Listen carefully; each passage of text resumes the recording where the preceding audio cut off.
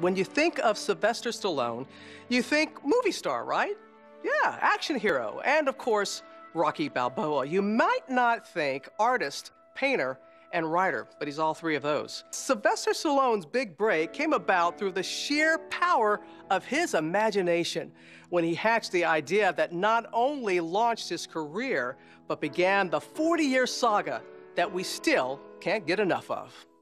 Let's start from the beginning. Was there ever a time that you doubted yourself? Yeah, I, you know, I, I, thought when I, you know, I live in this basically this flop house. It's $26 a week, very transient, and you share the floor with 10 people. You don't know anybody on the planet, literally no one. I think I recall you saying your acting low point, The Godfather, and you said you couldn't even get in the...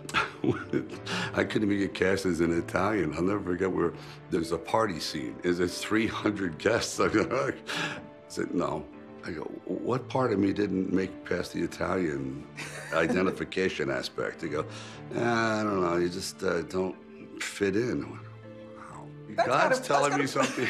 that's got to play with your psyche a little bit. A little bit. I know. Yeah. But but it didn't, and you decided to take matters into your own hands by writing. Yeah. Rocky. You know, I've been coming in for six years, and six years you've been sticking it to me. I want to know how come. You want to know? I want to know how. Okay, I'm going to tell you. Because you had the talent to become a good fighter. And instead of that, you became a leg breaker. You were able to write Rocky in three and a half days. The movie that went on to be Best yeah. Picture.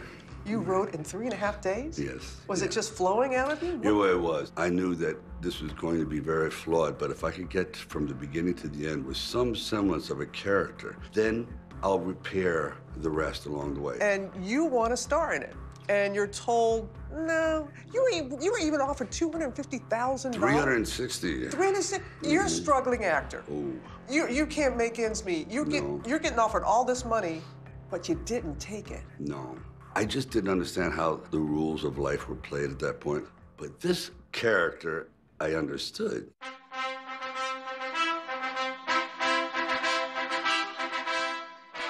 To say that Rocky touched a nerve would be an understatement. In the 1980s, Rocky epitomized America's attitude and self-image, and the character continued to evolve in the new millennium, reappearing every few years to reflect America's changing hopes, fears, and dreams. Until finally, it appeared that the journey was at an end. The last Rocky movie before Creed the final scene. Was it your way of saying yeah. goodbye to the character, goodbye to that? Yeah, goodbye to everything. Goodbye to the best chapters of my life, at least professional life. It really was. Then along comes this young guy out of Oakland. I'm going, what? Ryan Coogler. Ryan Coogler. When director Ryan Coogler first met with Stallone, he was untested as a feature filmmaker, but he had an intensely personal idea for reviving the Rocky franchise. Coogler's father had fallen gravely ill a few years earlier. With Ryan by his side, there was only one thing the elder Coogler wanted to watch. The father's a very soulful, powerful man, and now he's being reduced to a shell of his former self.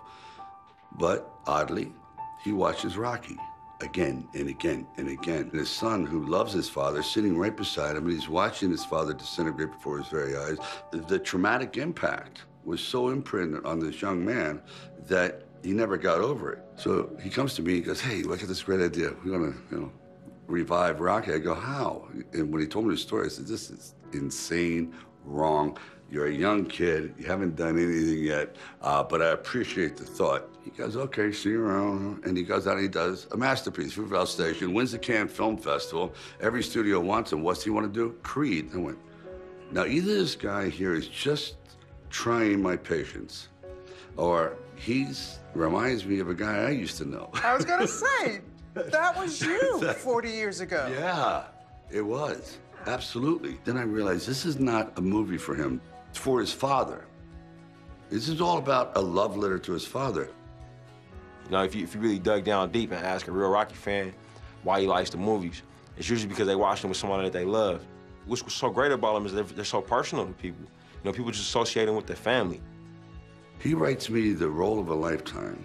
And then he has Michael B. Jordan, who's also brilliant. And I'm now pulled along, tugged out, by the present generation a character that could be their grandfather. What you mean don't think about this? When you starting treatment? I'm not doing no chemotherapy. I'm not crazy at all. If I could take everything that was good and put it into a bowl or something and say, hey, here, I'd like to buy one more day with my wife, I'd do it. Everything I got is moved on, and I'm here. I never wanted to do this movie. I thought Sick Rocky is so counterintuitive to what Rocky really is designed for. I, I, just laid there. I said, can someone else be sick in the movie and not me? Because I've never done that. My wife goes, you're a coward. No, you know, that's kind of a harsh word. He goes, no, no, it's, you're, you're yellow, basically. You're a coward. It goes against every undeclared artistic rule. If you're afraid of something, that's the commitment of, that, of the artist. That's his duty to pursue the unknown, to go someplace where he's literally at odds with himself. Right there, old man? Yeah. You know, if you look hard enough, you can see your whole life from up here.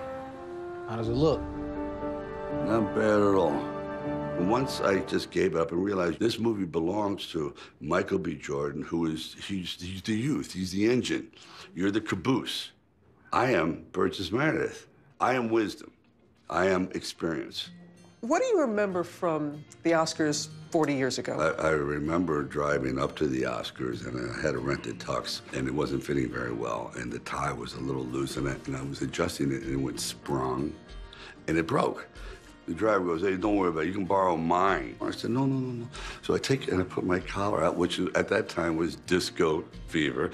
And I go in and people are looking at me as though, how this is blasphemous. Now, what is going on? Is it like my cologne? I had no idea. And it was just, again, just naivete. I, I didn't think we were going to win. We were up against extraordinary works of cinematic filmmaking, I mean, on every level.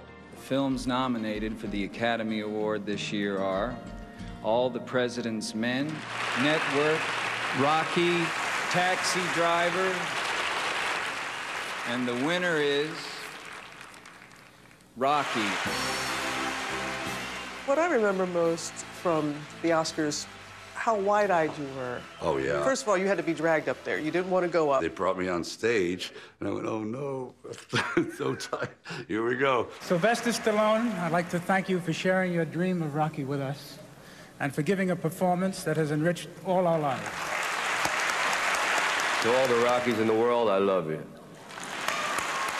When you said this is for all the Rockies. This is all the Rockies in the world, yeah. Who do you think are all the Rockies in the world? We're all Rockies in a sense. We all have this struggle to, to try to realize our dream, which is trying to be appreciated in their own lifetime to say, you know what, I'm not the fastest, I'm not the prettiest, I'm not the tallest, but I'd just like to take a shot at it one time.